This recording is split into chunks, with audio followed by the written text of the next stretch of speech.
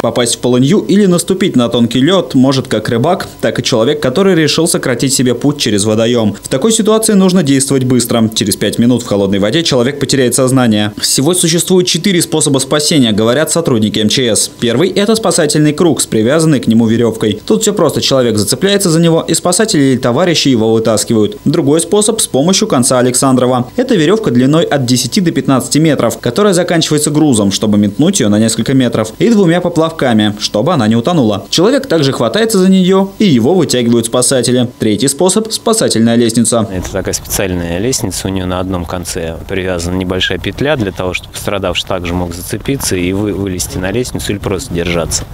А к другому концу была привязана веревка страховочная, чтобы один человек подает ее, подползает к пострадавшему, а второй, который спасатель спасает, он страхует их обоих и потом за эту веревку подтягивает и пострадавшего, и спасателя. Если же никого рядом нет, то спасаться нужно самому. Как говорят водолазы, по своим следам. Нужно развернуться в ту сторону, с которой человек и пришел, ведь там лед вес его выдержал. Забраться на лед нужно любым способом, а потом, не вставая, следует перекатываться или отползать, опять же, по своим следам. Главное в такой ситуации, говорят водолазы, не паниковать. Тренировки по разным способам спасения провалившегося под лед человека водолазы проводят перед ледоставом и в конце зимы, чтобы подготовить личный состав. По словам спасателей, чаще всего под лед проваливаются именно рыбаки. Совет простые, не выходить на тонкий лед. Если идете по незнакомому водоему, где лед только встал, перед собой нужно проверять лед пешней с небольшими ударами. Не ходить группами, когда лед только встал, когда он еще тонкий довольно-таки.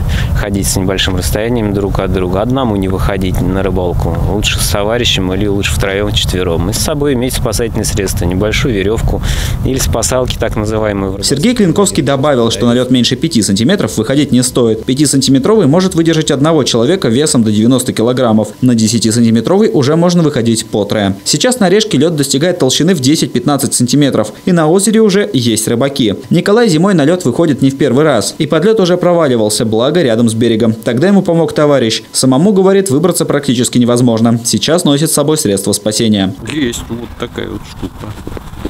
Что это, как работает? Ну, если провалишься под лед, это зам втыкать и выползать с их помощью. Несмотря на то, что на небольших водоемах лед уже встал, на многих реках его все еще нет. Поэтому людям следует быть осторожнее. Валерий Седов, Игорь Глотов, телекомпания «Город».